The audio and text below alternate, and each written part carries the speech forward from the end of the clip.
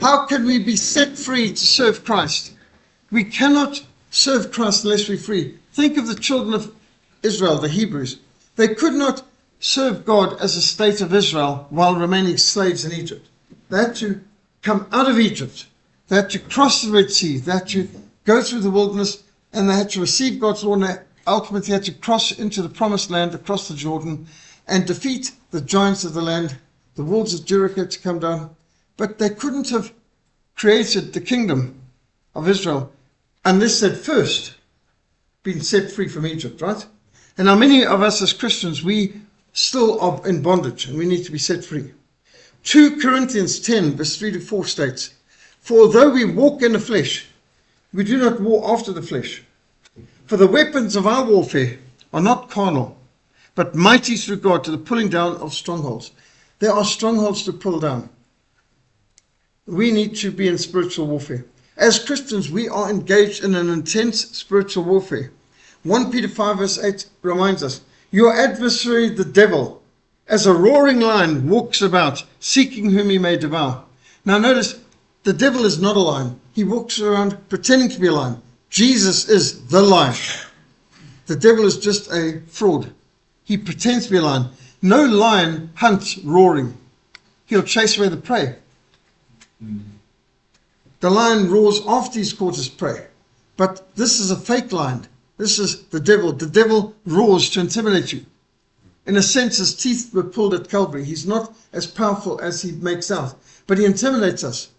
You can't be defeated by the devil, but the devil can talk you into surrendering and jumping into his mouth and so on. So if you think about it, Jesus has all the power, but the devil is a shrewd psychological warrior. He manages to give us his propaganda and make you think that you're under his power, but the devil cannot even touch you without the permission of your God. Just think of Job, that uh, Satan could not touch Job unless God gave him permission. And even then he put limits. The devil is a shrewd enemy. He has been tempting God's people for centuries. He knows how to place snares and traps in our path. He knows how to distract us. If he can't keep you from being converted, he tries to get you diverted, to get you distracted, deviated, discouraged, defeated, derailed even. The devil knows our weaknesses. He knows human nature. Whether it's pride, greed, lust, dishonesty, immorality, bitterness, the devil knows what is our weak points and he knows how to probe and push. If we do not deal with sin and fortify our areas of weakness, we will continue to experience spiritual defeat. Now, of course, we must experience full spiritual victory in our own life first, but then we've got to train our members to get free, to hand over those areas that they have surrendered to Satan and reclaim that surrendered ground. If we harbor and nurture our sin, we give the devil a foothold in our lives. It might be a toehold, a fingerhold, it might be a foothold, but later it might even become a stronghold. Once you've surrendered ground to Satan, it's vitally important that we learn how to reclaim it, how to put on the whole spiritual armor of God, how to successfully resist the tempter. The weapons that God gives us are able to tear down Satan's strongholds. There are strongholds. We've had people with all kinds of demonic bondages, but Satan can be defeated. Submit to God, resist the devil, he will flee from you. And we need to replace these with fortresses of faith. Ephesians 4, verse 26 to 27 is a key verse. Be angry and do not sin. Do not let the sun go down your wrath, nor give place to the devil. And one translation says, Don't let the sun go down your wrath. Uh, when you're angry, don't let your anger lead you into sin. Anger is not necessarily sin. It's rare, but there's such a thing as righteous anger. Our Lord Jesus came into the temple and he saw God's house, which should be a, a house of prayer for all nations, turned into a den of thieves and a marketplace.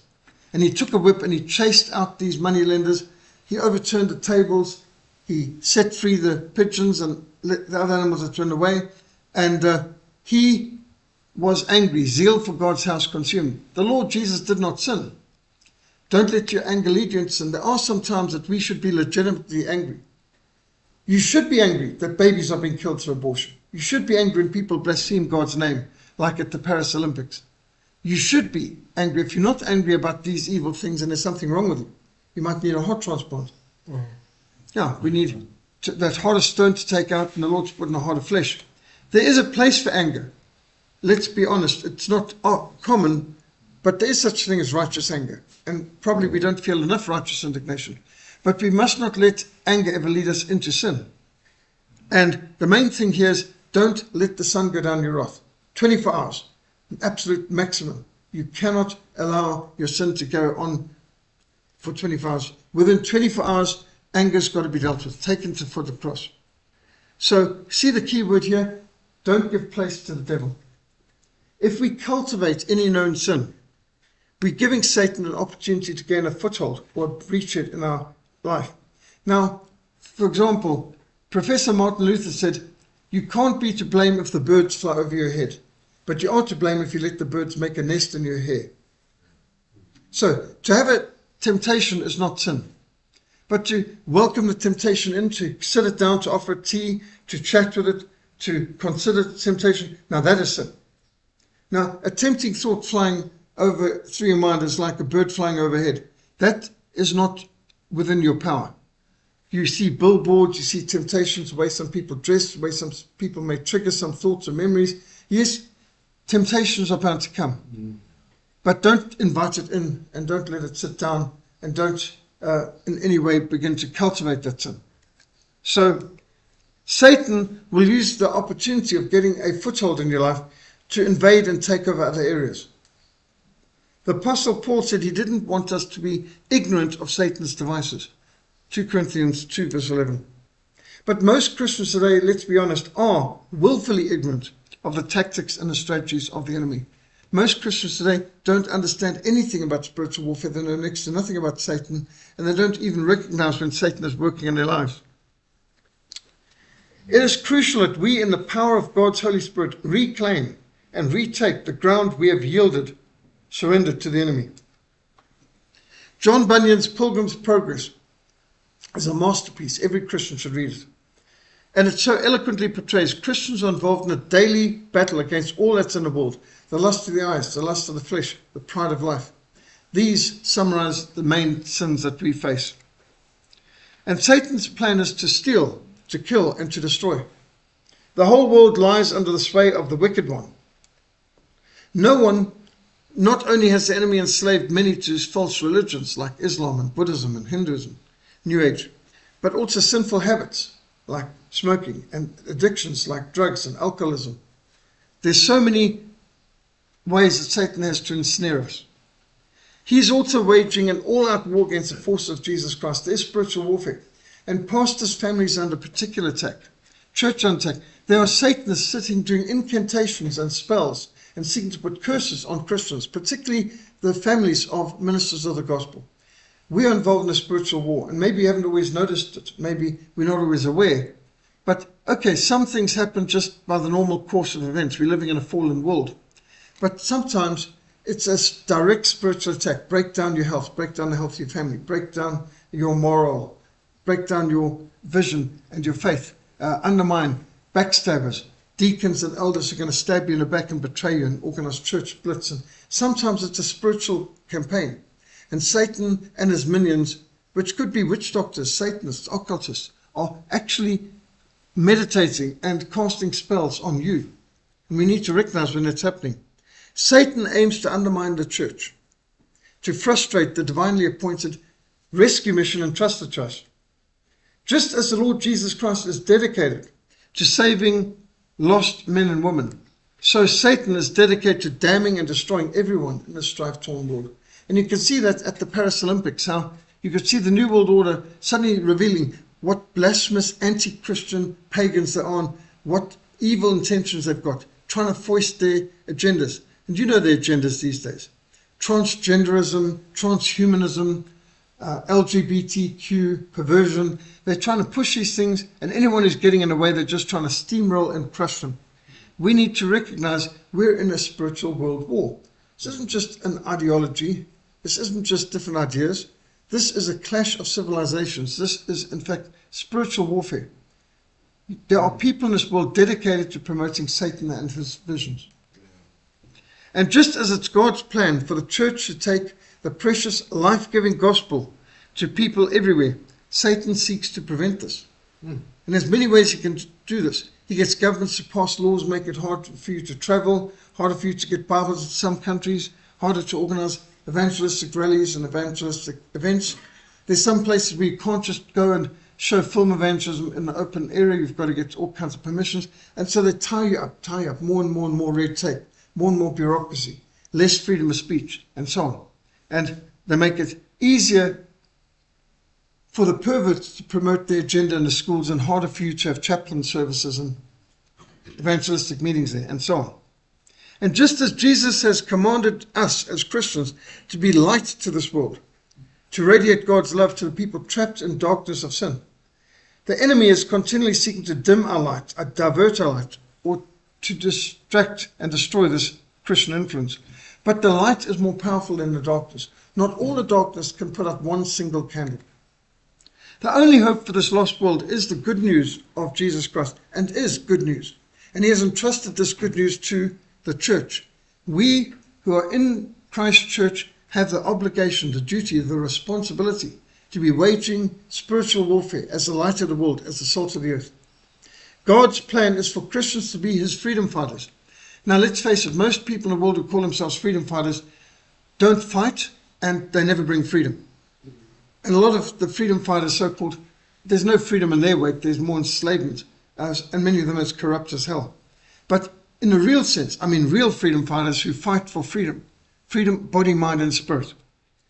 Because this world is enslaved to sin. So, as God's guerrillas, Christians need to be undermining Satan's forces. We are living behind enemy lines in many places. Christians who are involved in some companies, uh, some corporations who might be in Hollywood, Christians involved in uh, many of the schools and universities of this world are in, already behind enemy lines. And now it's our job to undermine Satan's forces, the false religious cults, the sects, communism, the occult. When I was doing my military national service, our Bible study and prayer fellowship got the vision, you know, the communists are coming to us with hate. Have we ever gone to them with love? They're coming to us with Marxism. Have we ever gone to them with the gospel? They are bringing bombs to us. Have we ever gone to them with Bibles? They are undermining our society, planting landmines, shooting aircraft with uh, heat-seeking missiles like Strela missiles and so on, the red eyes. Uh, they are throwing grenades into uh, people's homes, killing policemen, their children, uh, while they're sleeping in bed. Have we ever gone to undermine them with the gospel of our Lord Jesus Christ? And that was the vision of our mission. So we've smuggled hundreds of thousands of Bibles into communist and Muslim countries. We've broadcast the gospel into communist countries. We've gone and trained groups, chaplains amongst the resistance fighters like Renamo in Mozambique and chaplains amongst UNITA in Angola and the Sudanese People's Liberation Army in uh, Sudan and sought to undermine the enemy. We've won whole enemy companies, even one occasion battalion of Muslims over to Christ. And, you know, it's good to be a conqueror. David was a conqueror. David killed Goliath. That's a great achievement. But Jesus is more than a conqueror. Jesus took Saul of Tarsus and turned him into Paul the apostle. He took the enemy of the church and made him the missionary of the church. Yeah. Now that is more than a conqueror. Now if you can defeat the enemy, that is a great achievement. But if you can convert your enemy to be your friend and co-worker, that is a super great victory. And so we need to be undermining Satan's forces when we win witch doctors and Satanists over to become Christian evangelists, that has been more than a conqueror. The whole church needs to be involved in this war of liberation. This is a real war of liberation. To free the world, the whole world, from the devil's deceptions and from the snares of Satan. And the only reason why the devil is so often winning is the church is so seldom fighting. You can have the best football team in the world, but if they're not on the field at the time of the match, you lose. And the church has got great weapons, we've got great team, but if we're not in the field, the enemy wins. We've got to be on the field. We've got to be fighting these battles, mm. wherever they may be, such as in Paris during the Olympics. We needed Christians there to counter this. And by the way, the Paris churches mobilized the next week after uh, the opening of the Olympics with all this blasphemy. Paris Christians came into uh, the public square around the Eiffel Tower and they sang the praise of Jesus. And Paris Christians sought to reclaim Paris for Christ. I mean, that's the right way to do it. You don't just sit back and say, this is terrible, this is disgusting, how can I do that? we need to counterattack. James 4, verse 7. Therefore, submit to God, resist the devil, and he will flee from you. If the devil is winning, we're either not submitting to God or we're not resisting the devil. The devil should be fleeing from us if we submit to God.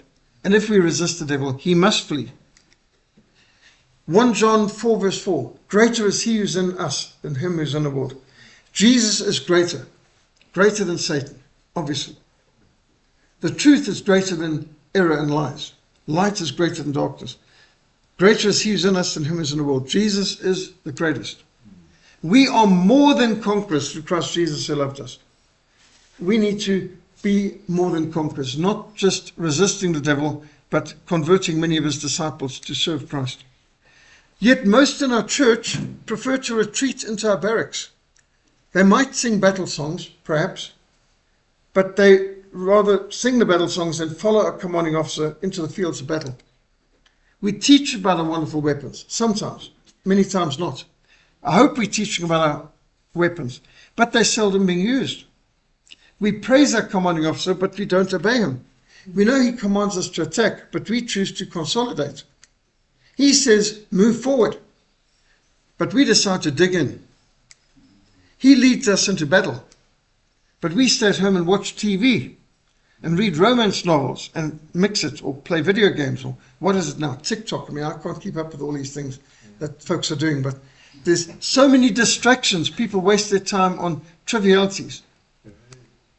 I, I once was calling it Spacebook and MyFace. I know that there's uh, Facebook and, and MySpace. I said Spacebook and MyFace. Um, because it's so confusing, all these things people waste their time on. The enemy has tricked many into the ambush of pride. Thousands have triggered the landmines of lust. Others have been discouraged by the bombardment of criticism. How many people in our churches have a gift of criticism and a ministry of discouragement?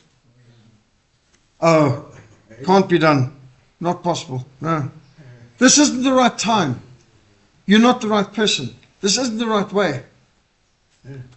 Oh, how many people are there just to discourage you? You come up with a solution, they've got a problem. Um, when you give them a choice of two evils, they choose both. Many have retreated before the poison gas of gossip. It's hideous, like what poison gas did to the trenches in the First World War. So gossip in a church kills many of our fellowships. How can you have a loving fellowship while you've got gossip flourishing in the church? The booby traps of bitterness have crippled the critical. Propaganda has led some to surrender to the army of unbelief. The amount of people who are running over to surrender to evolutionism and uh, CRT and LGBTQ and all these other perversions out there. Propaganda all the time. We are in a spiritual world war. This is a very serious war, and lives are being lost. And the fight is to preach the gospel to the millions living under communist oppression, like in Cuba, in Red China, North Korea, and so on. To smuggle Bibles to those living under severe persecution. The Bible is banned in 67 countries of the world. 400 million Christians in the world living under persecution. One in every six Christians in the world lives under government that persecutes the church. In Africa, it's one in three. One in three Christians in Africa live under governments that persecute the church. Mainly, of course, in Muslim North Africa. To save the lives of millions trapped in satanic deceptions and the false religious cults and sects. It's not just the Mormons and the Jehovah's Witnesses. Um, it's Islam, Buddhism, Hinduism, many false religions. There's a need to free the drug addicts. We need to liberate the alcoholics. The church must reach everyone in this needy world with the powerful love and liberty of Jesus Christ. Think how many people are, you know, basically behind chains. Just think of these poor Muslim women forced behind these tents, these hijabs. It's, it's shocking.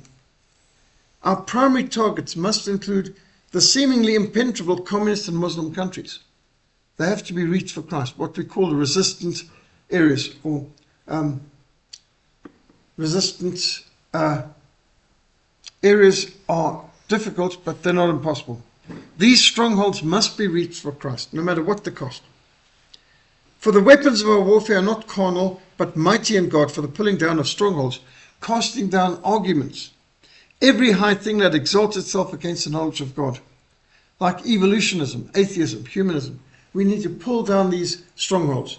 And we need to bring every thought into captivity to the obedience of Christ. But to do so, we need to be free. Ephesians 4:27 warns us, never give the devil a place, never give him a foothold, never give him an opportunity, some translations say. Do not give the devil a chance. Uh, we read in other translations. If Satan gains a firm enough foothold in a person's life, he can turn an act of sin into a regular practice of sin, and from it can degenerate into a habit. I don't know how many have read the Jungle Doctor books, but the Jungle Doctor's got a whole lot of these interesting animal analogies or parables. One is these naughty monkeys come along uh, to Hippo and say, Hippo, you're so strong. I bet you could break um, a reed tied around your feet. Well, of course, so they tie a reed around the hippo's feet and the hippo just breaks it. Oh, what strength! What an amazing animal you are. I bet you could break seven reeds. And so they wrap seven reeds around his legs. And Hippo just breaks them, no problem. Ah, oh, you are so powerful. You're the most mighty of all the animals. And, and so the monkeys uh, butter up his mouth and get him feeling all full of himself. And then they say, I bet you could break a hundred. And then they, they wind around, around, around, and they carry on, on. And then Hippo tries and strains and he falls over. Just too many cords around his feet now. What he could break a few of, he can't break hundreds of. And the point is, you might think, you know, I can do this sin, I can take this glass of beer or wine or whatever, and no problem. Uh, okay, uh, but what about a hundred? You know, whiskey, bourbon, all this. And so somewhere along the line, some people find it's more. Now, now they're no longer enjoying the sin. Now the sin is ensnaring them. Now they're in a trap. Now they're in a snare. It leads a person downwards to bondage.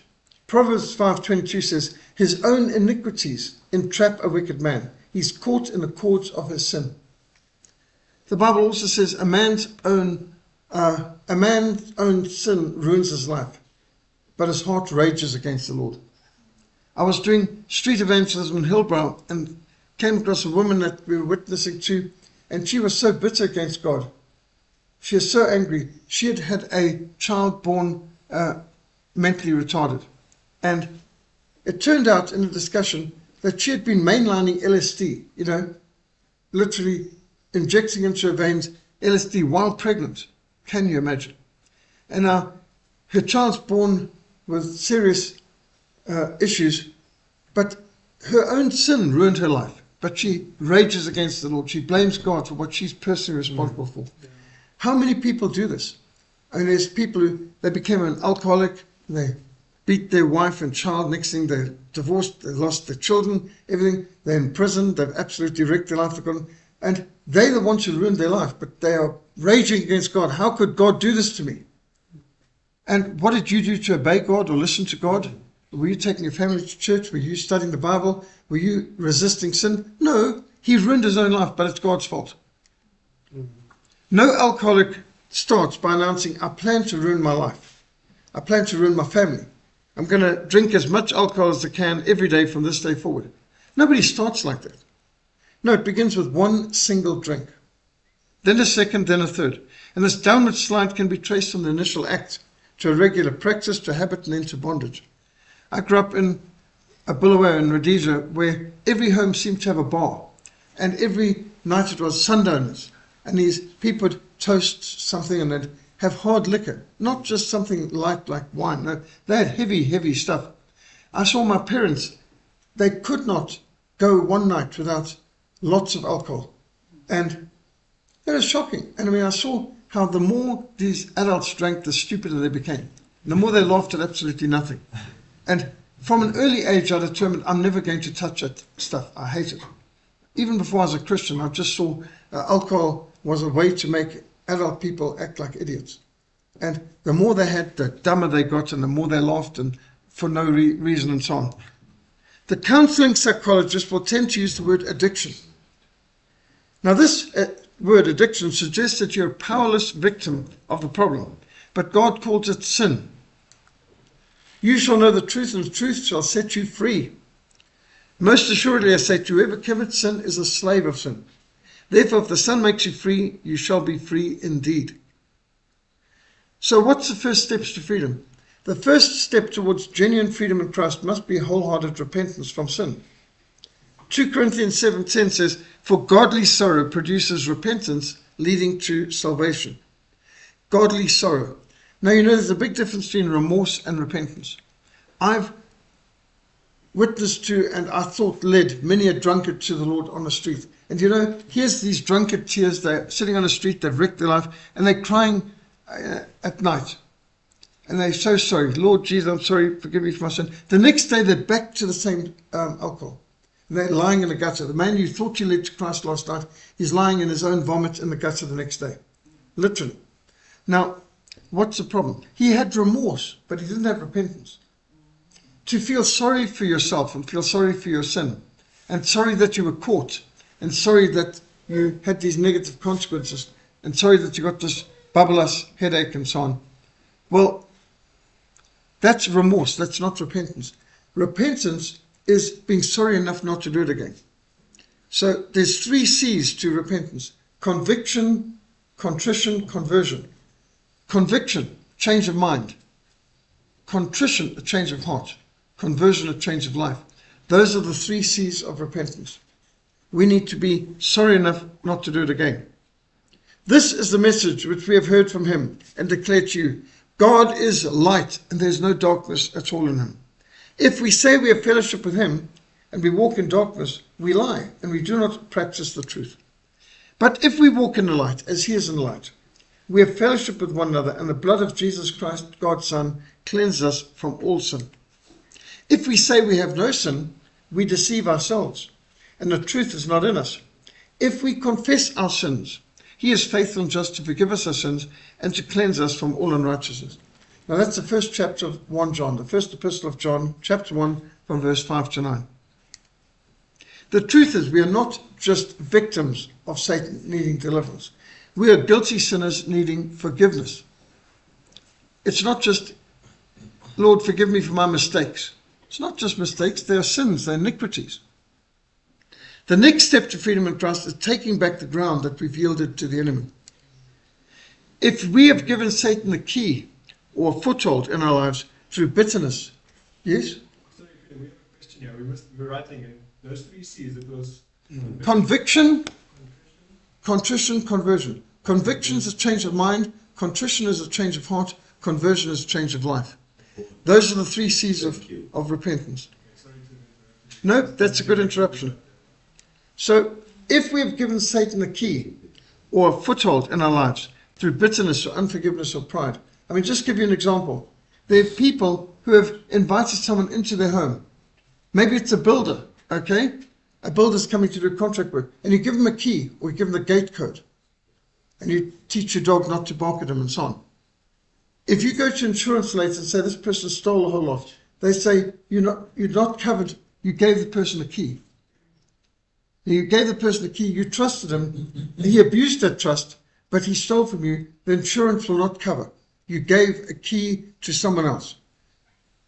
You now can't claim for break and entry. There's no break and entry. You gave the man a key.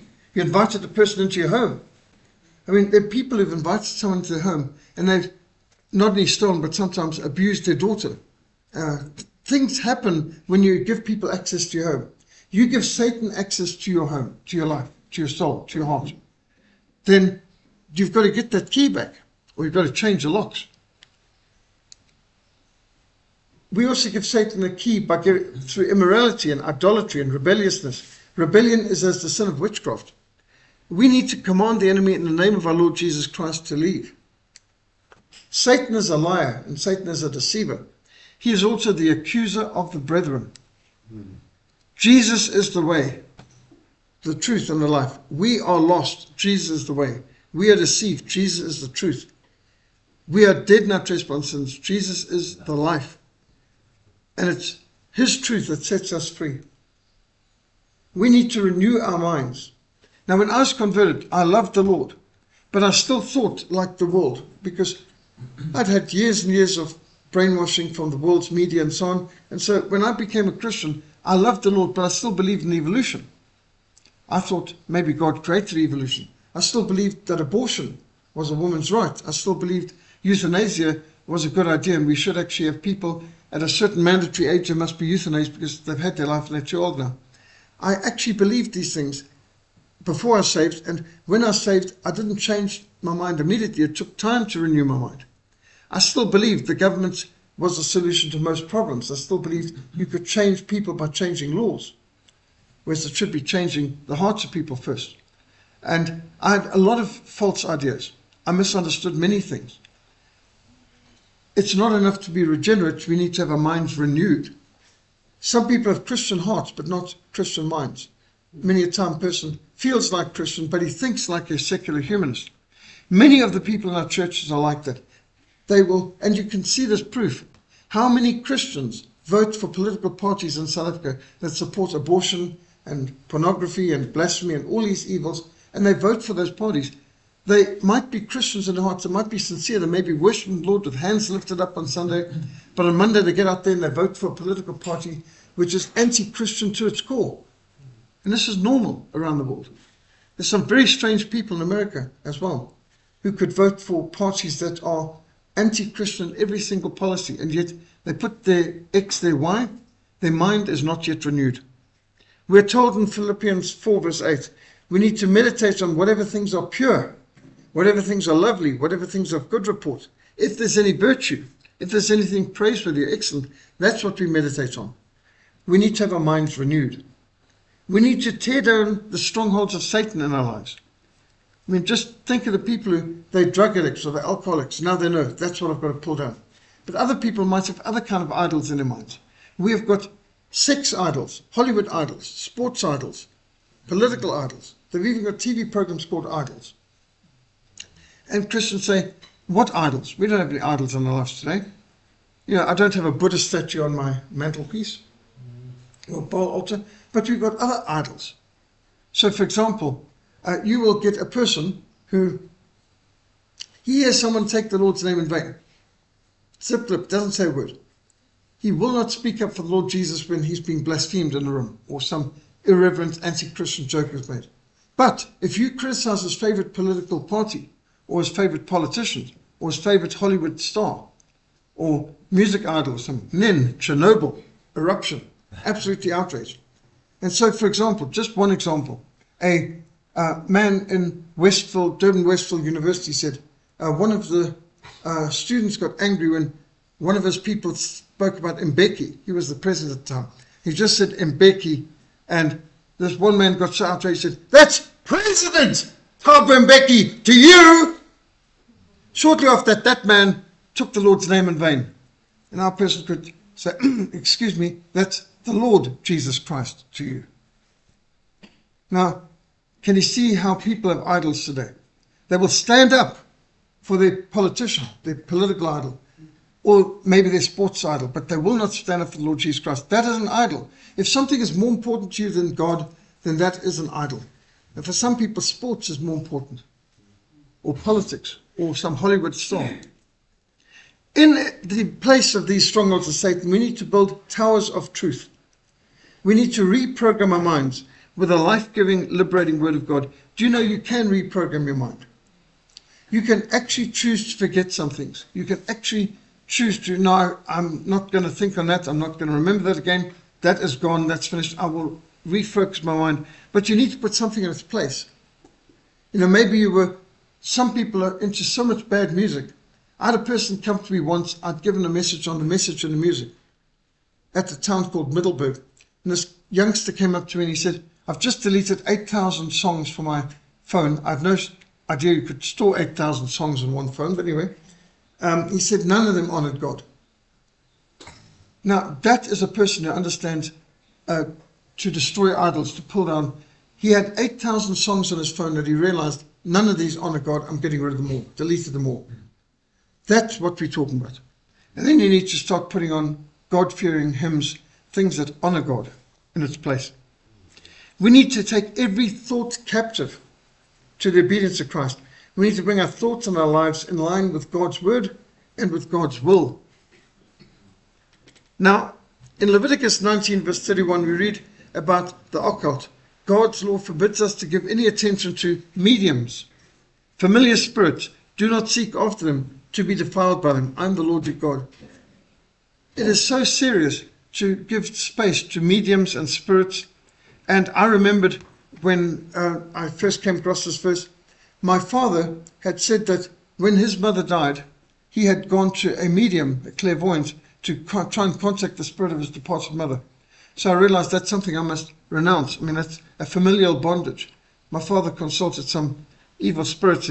One time in Bulawayo, we were driving out towards the Matopos, and we stopped at a village where they uh, advertised this, the witch doctor will throw the bones for you and tell you a fortune. And my father went out probably as a joke, but he came back very impressed that this witch doctor really knew things that he couldn't have known. And again, I remembered that that's wrong. Then I looked around my house, and we had some of these witchcraft masks that our family had bought by the side of the road, and you know, some kind of souvenir. But these mosques have got horrible occultic backgrounds. Why would we want to keep that? You've been in some people's homes and they've got a Buddha statue. They visited Thailand. They came back. They put this Buddha statue on the mantelpiece. These things can go. They defile us. When you come into the land that the Lord your God is giving you, you shall not learn to follow the abominations of those nations. These shall not be found amongst any of you. Anyone who makes his son or his daughter pass through the fire, or anyone who practices witchcraft, or a soothsayer, or one who interprets omens, or a sorcerer, or one who conjures spells, or a medium, or a spiritist, or one who calls up the dead. For all who do these things are abominations to the Lord. And because of these abominations, the Lord your God drives them out before you. You shall be blameless before the Lord your God. For these nations which you will dispossess, they listen to soothsayers and diviners. But as for you, the Lord your God has not appointed such to you. So Deuteronomy 18 is make it clear. Is there anything left out? I mean, he's covering the soothsayers, the clairvoyants, those who conjure up spirits, who consult the dead. These things are an abomination to God. There's no place for occult, no place for witchcraft, which is exactly what the Olympic Committee in Paris were doing. All of that rubbish, all this occultic garbage they're putting forward. This is not just something that is happening in the middle of Congo. This is happening in Paris. It's happening in Los Angeles. There are soothsayers. They say there are more occultists or more clairvoyants in France than are ministers of the gospel. France used to be a great Christian nation. Well, they're far from that now. So we need to ask God to reveal any and all occultic activity that has taken place in our life. Do you know that when Muhammad was a young child, his mother sought the evil eye to heal him, and his Muhammad's nurse, um, because his mother died uh, shortly after he was born, his mother's nurse said that she thought that Muhammad was demon possessed as a baby. But the mother used occult to try and heal him. And Muhammad went into epileptic fits and so on. There's a, a whole book written on uh, by a medical doctor on uh, the uh, symptoms of Muhammad. And he himself thought he was demon possessed. He went to Khadija, his first wife, and said, I am possessed by jinn, evil spirit. And Khadija's first wife said, No, you're too good a man for that. These must be God's angels. And so the knee jerk first reaction of Muhammad when he started to get these revelations was, These are evil spirits tormenting me. And uh, Khadija persuaded him, No, it was of God. Or maybe he should have gone with his first inclination. We need to renounce the seeking of power as sin. Commit ourselves to the empowering of God's Holy Spirit. Do you know how many young girls these days, especially in America, they want to be witches? And there's a lot of films from Hollywood that have, made people excited about witches and ha- having a vampire as a boyfriend and all sorts of strange things. These are some of the most popular films in the Western world. Girls having vampire boyfriends, girls being witches, being able to put on spells. And then there's not just Pokemon for the little kids, there's Harry Potter for the older kids. And uh, they are repackaging witchcraft, making witchcraft appear uh, attractive to Western kids. A lot of kids in America Europe who are wanting to be witches and warlocks and wizards, and they're thinking it's a great idea to have a relationship with a vampire and bizarre things. Got Christians getting excited about this and wanting to get involved in these occultic activities. We need to renounce the seeking of guidance from evil spirits, commit ourselves to the guidance of the scriptures. The amount of people who turn in their newspapers, I don't know if you've got it in your country, but in the West, you'll turn, you've got, what do your stars say today? What are you? Uh, you know, you're a um, Taurus, you're a Virgo, um, you're an Aquarius and so on. And then, the, you know, what the stars say is going to happen to you this, this day because you were born under this star. Or so on. Like, what difference does it make if you're born in January, February, November? That this is now going to determine what's happening to you. One twelfth of the world's population is going to have the same thing happen to them today. But there are people doing this. There were popes who followed the advice of clairvoyants and astrologers. We need to renounce all occultic healing and commit ourselves to the God who heals. The amount of people who go and seek healing from the devil's people, witch doctors and so on. The devil can heal, but he takes the sickness out of the body and puts the sickness in the soul. Yeah. And there's terrible consequence. You might get this physical healing, but you're going to get worse spiritual hmm. afflictions for it. There's a cost, and the devil is a hard taskmaster. We should renew, renounce the use of all mantras, charms, fetishes, any object that you may have trusted in for protection, and commit yourself to God's protection. You know, the amount of silly people in the West who think having a rabbit's foot is lucky, stroking the rabbit's foot. If the rabbit's foot was lucky, it would still be on the rabbit. It's insane the amount of stupidity you've got out there in the West. These people are, um, you know, black cats are bad luck. No, they're not. Um, in fact, a cat can save you from rats, they can save you from the bubonic plague, they can kill snakes. Uh, how can a cat be bad luck if he's black cat? And there's ridiculous superstitions out there.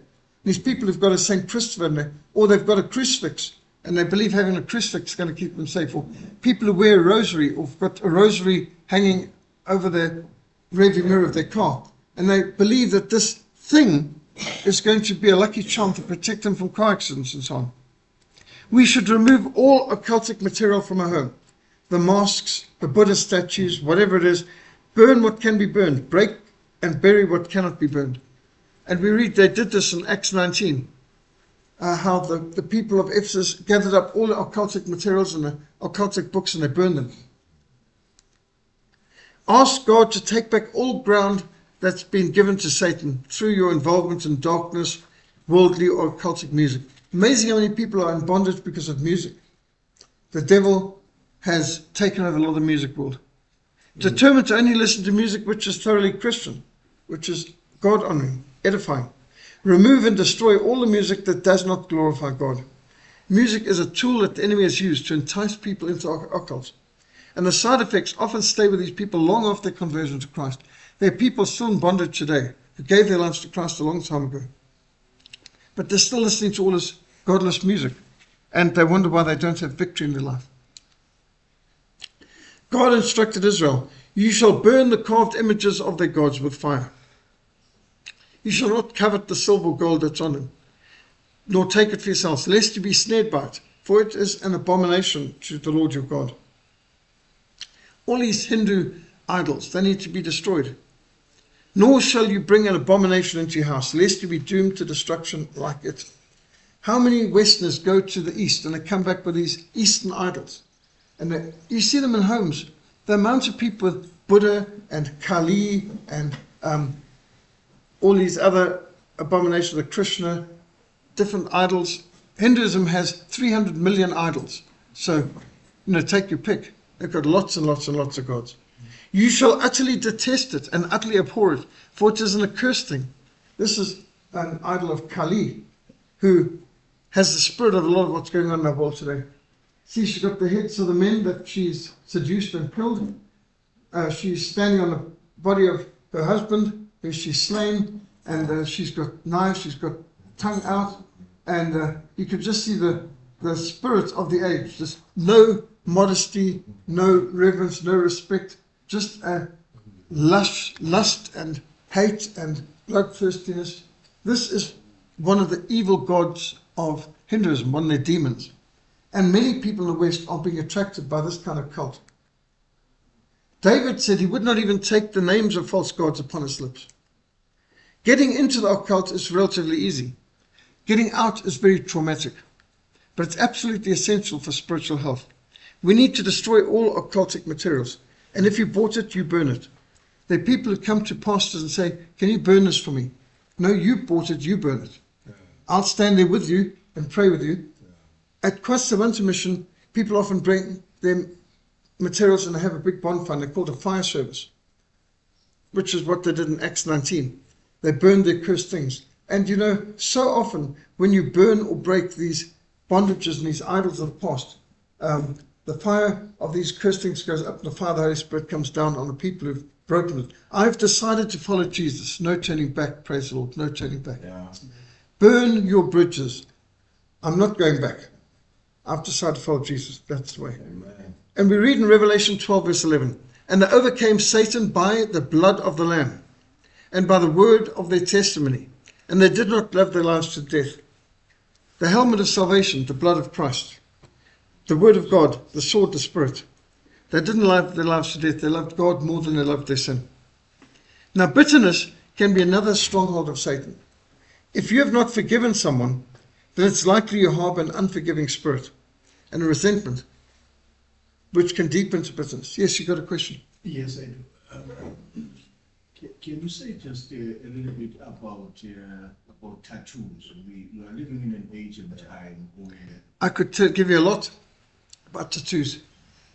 I have a whole presentation. They are an abomination before God. Every tattoo comes with a free demon. I believe everybody who has tattoos on them has demonic bondage, unless he's taken it to the Lord and he has repented of it severely. Because tattoos and body piercing are bondage creating. It's like a blood sacrifice. Literally, they've got to cut it. It's it's a very demonic thing, and that's why in the Bible it's so condemned. I've never come across somebody who had a tattoo who didn't have demonic oppression or demonic possession. Um, demonic oppression comes with the tattoos. If you go to Cape Town, our biggest tattoo parlor is run by a Satanist. It's like an evangelistic outreach fail. You can, around the window of the shop are fires, flames. It's like an evangelistic outreach tent of hell. Don't take a chance on going to hell. Come here and make absolutely sure. We can guarantee hell for you. And these people, in many cases, are cultists. Historically, the shamans, the witch doctors, did the tattoos, like in the Pacific Islands in particular. Uh, so it was a religious ritual to get a tattoo. And it's done in name of uh, certain demons and gods of theirs.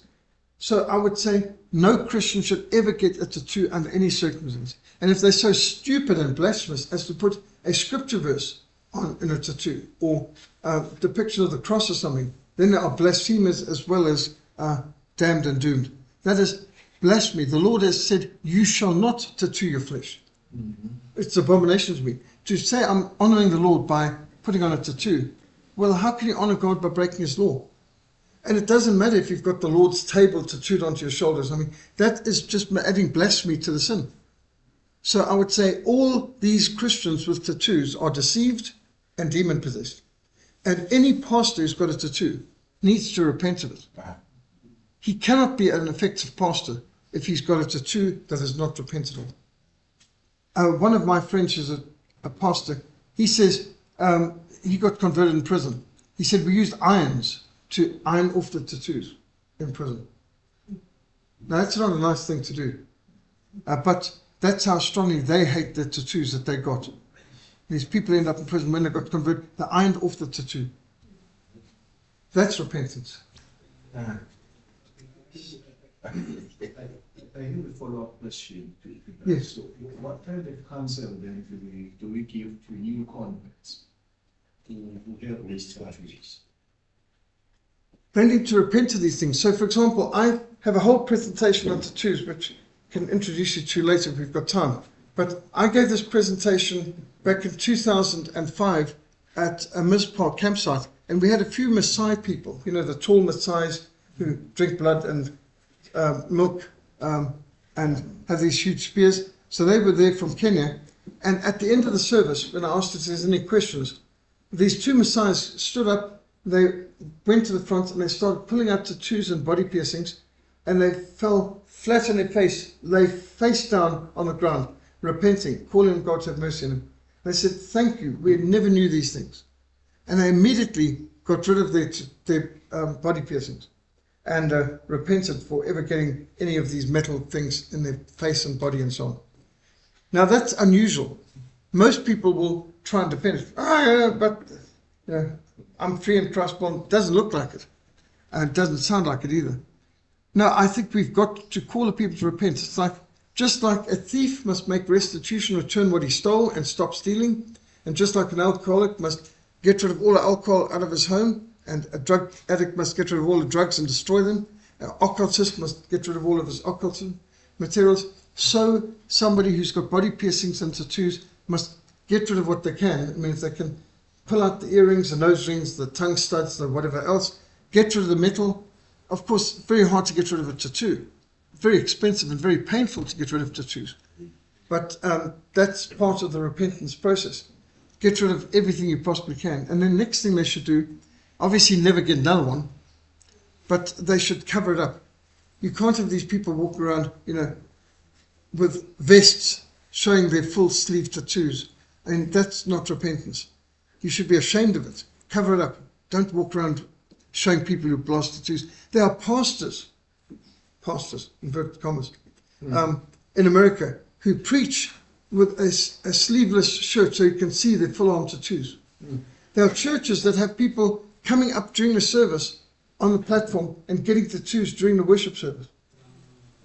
It is a new cult. It's a false religion. It's evil. Hmm.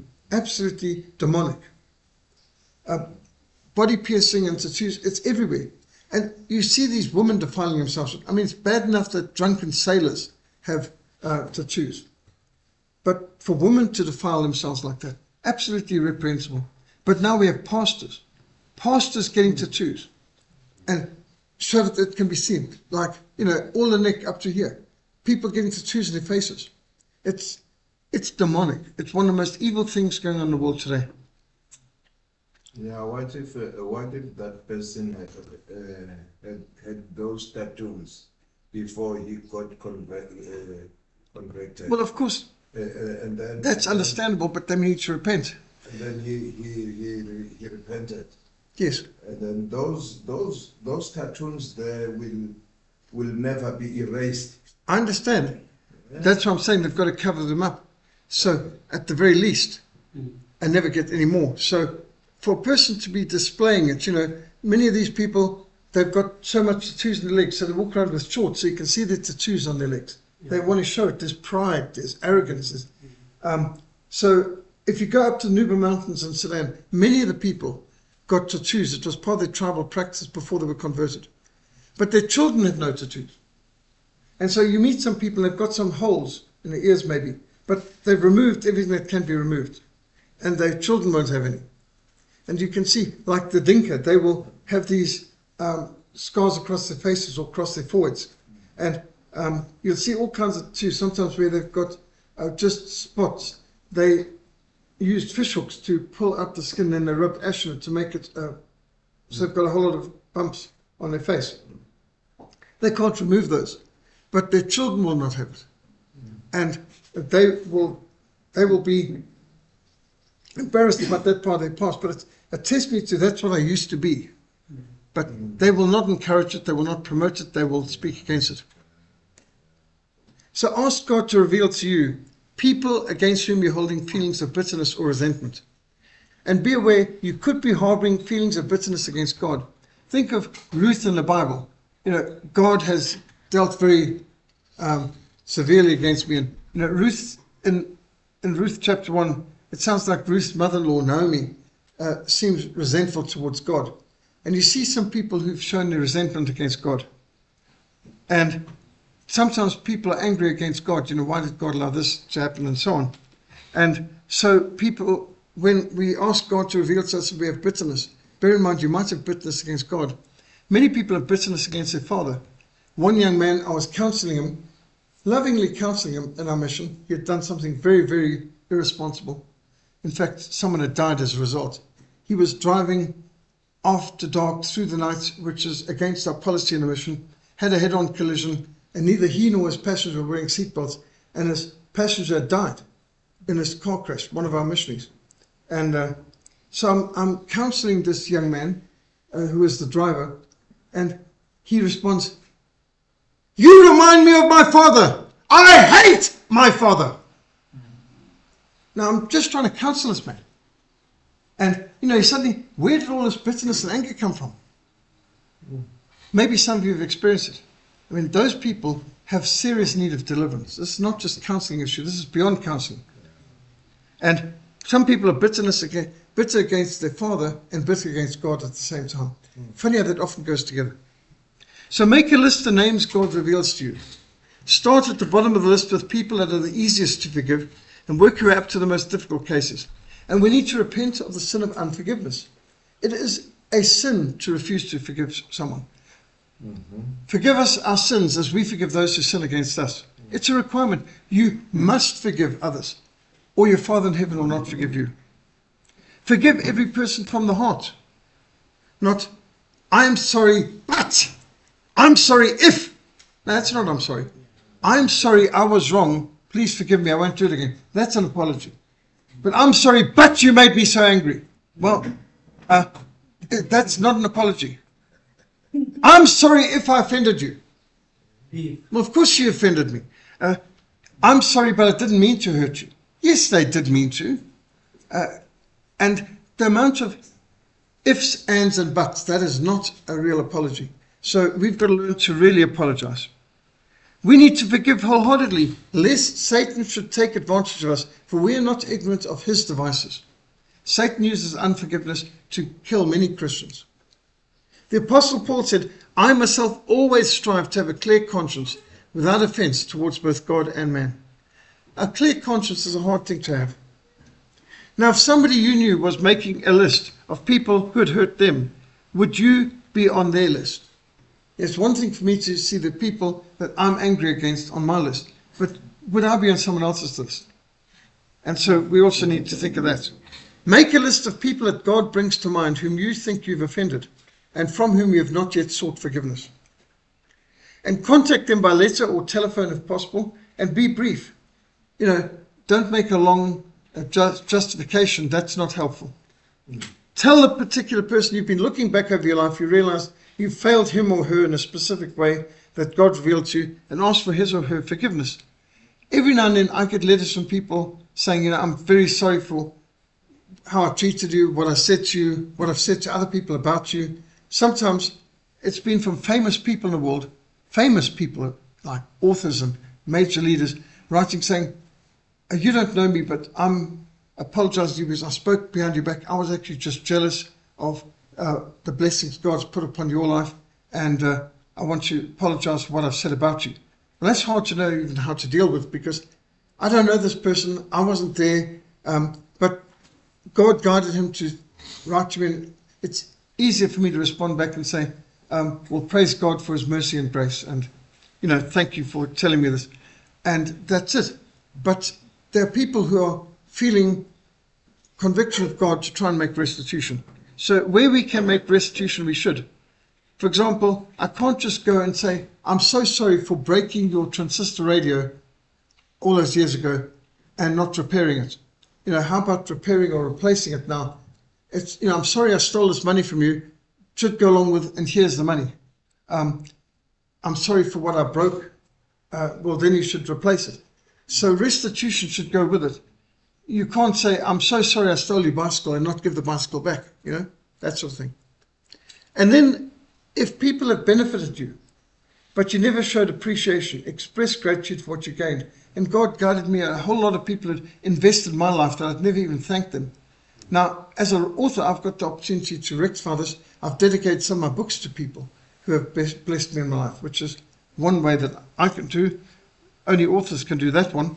But sending thank you notes or thank you cards to people who've blessed you, showing them how God used them to build you up and strengthen or challenge you helps.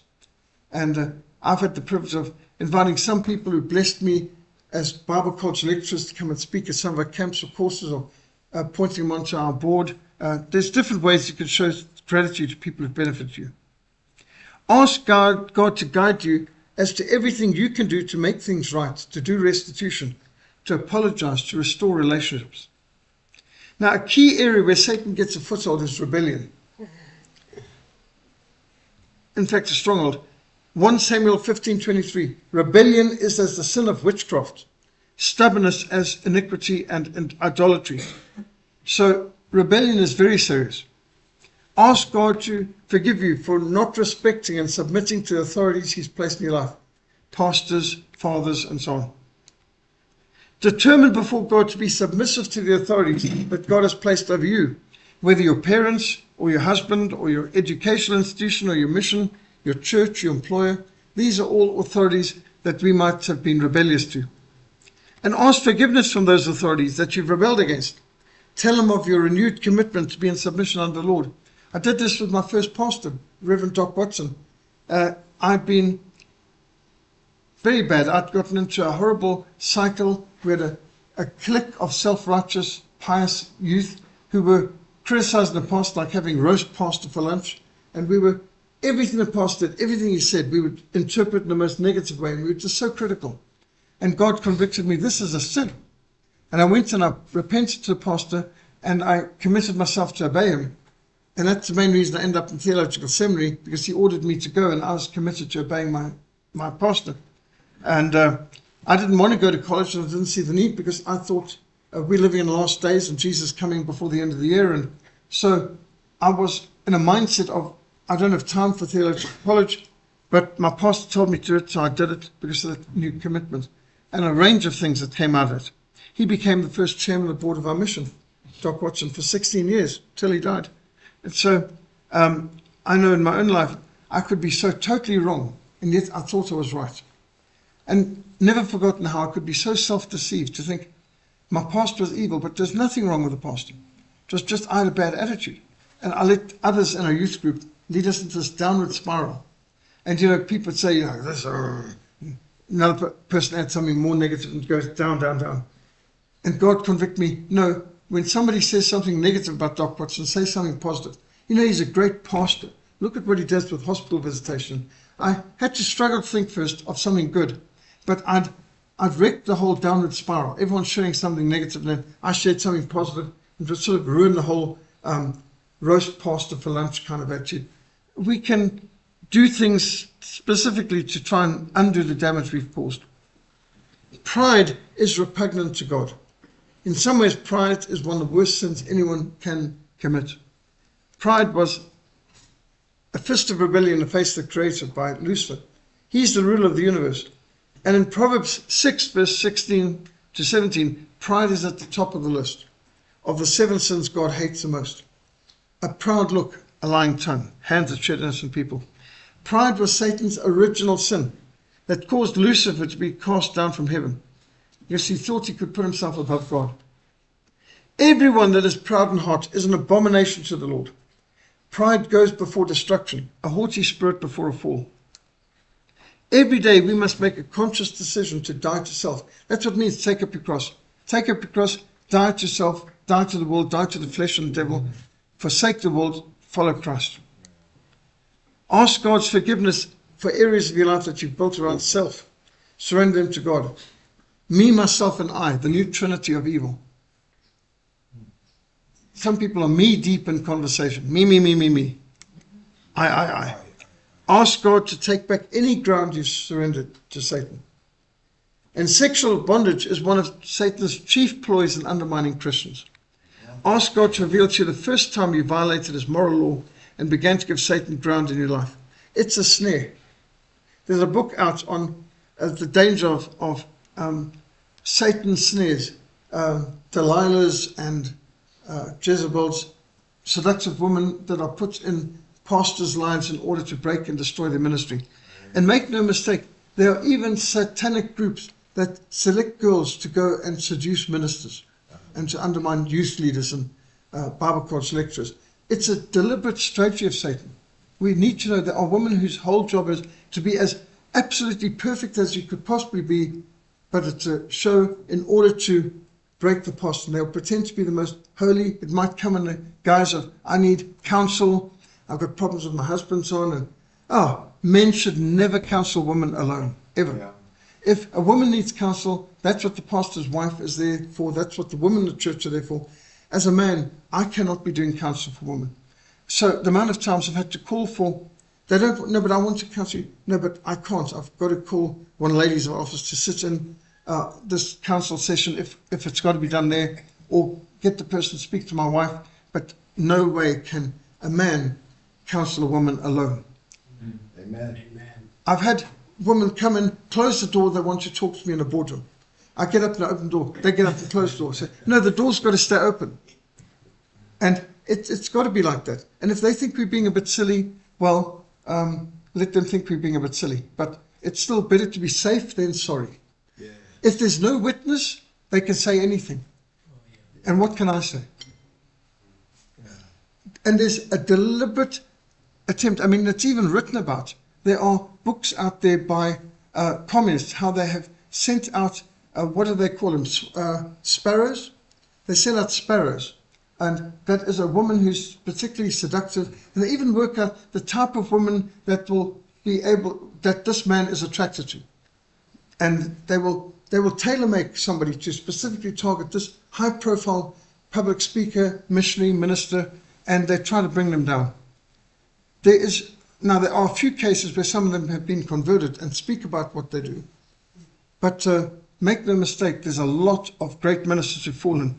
We just had a very very famous leader in America fall, and uh, this is just you wonder if it, was, if it was accidental or if it was deliberately targeted. Knowing how high profile he is in Christian work, it was probably targeted. And you can see that people who specifically go their way to bring down men who are doing some damage to Satan's kingdom.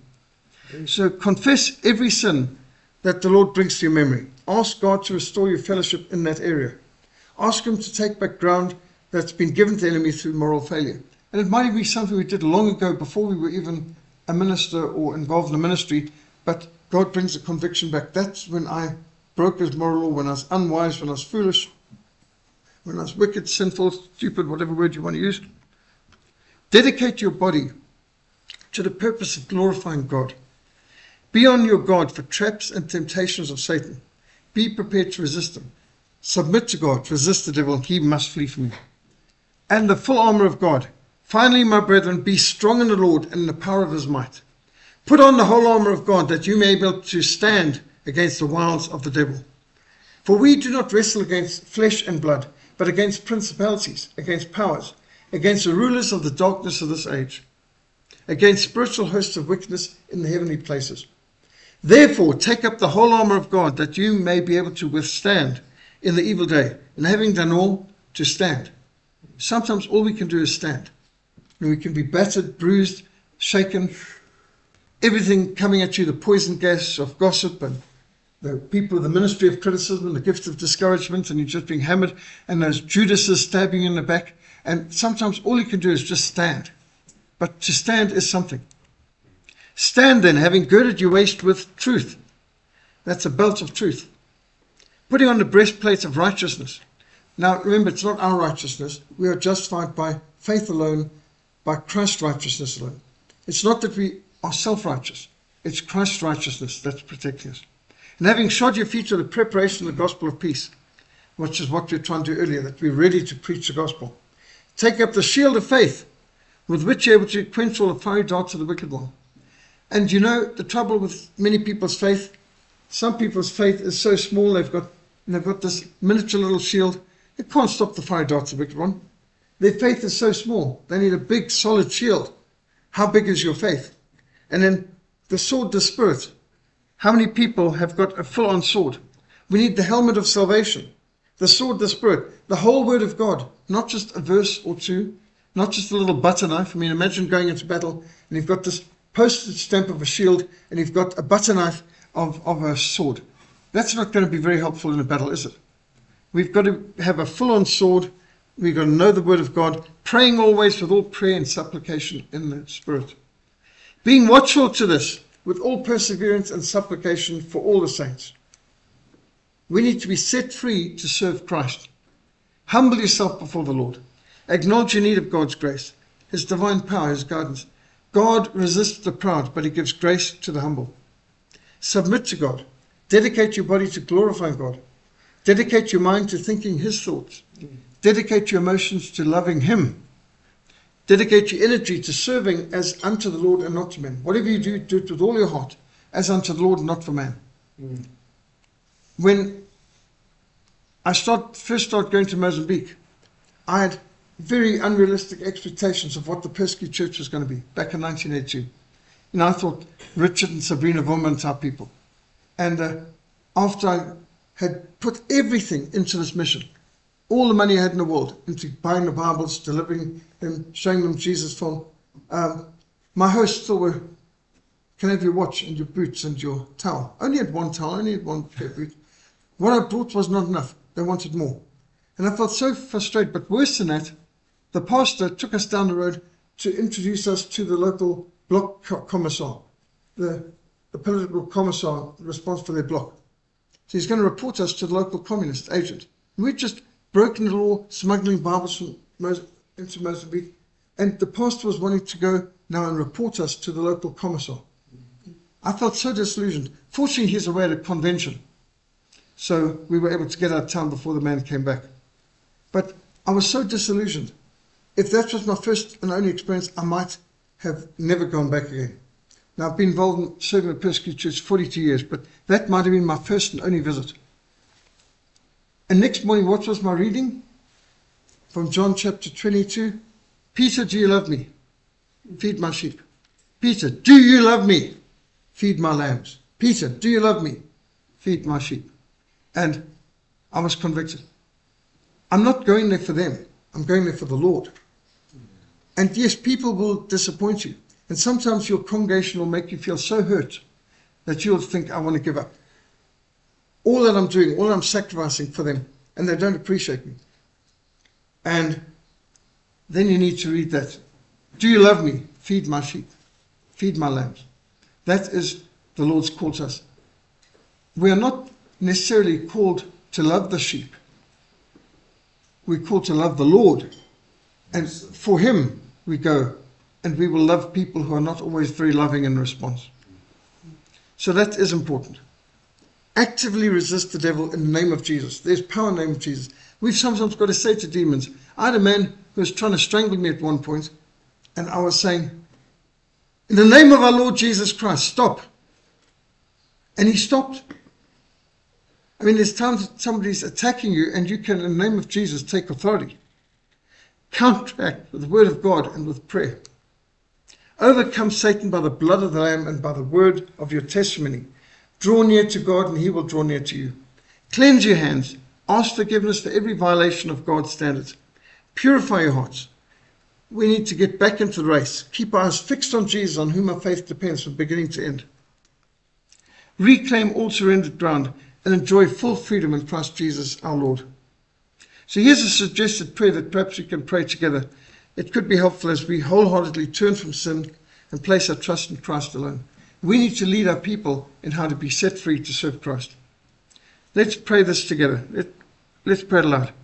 Heavenly Father, in the name of our Lord Jesus Christ, I come before you, desiring to be free from all bondage and sin.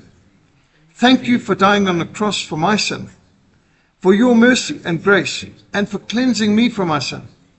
I am sorry for my sin, and I pray, Lord God, that you would wash me and cleanse me and free me from all consequences of my iniquities and rebellion. I now confess and repent of all my sins, both known and unknown.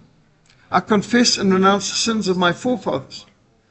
In the name of our Lord Jesus Christ, and by the power of his blood shed upon the cross of Calvary, I break and renounce the power of every demonic curse that has been passed down upon me by the sins and actions of others or by myself. In the name of our Lord Jesus Christ, I renounce, break, and loose myself and my family from all demonic subjection and bondage. I claim release through the blood of Jesus Christ, my Lord and Savior. By your grace, may you bless me and use me and enable me to serve you faithfully to your honor and glory and for the extension of your kingdom. Amen.